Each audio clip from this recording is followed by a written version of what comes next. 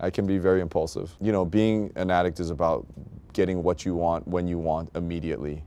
You know, I want what I want and I want it now. And uh, being in recovery and being healthy is waiting and being patient. And so my first instinct was fuck this show, get the fuck out of town, just disappear. And now it's.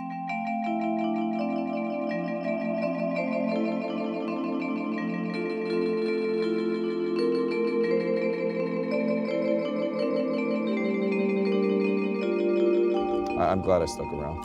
I'm glad I didn't pull the plug.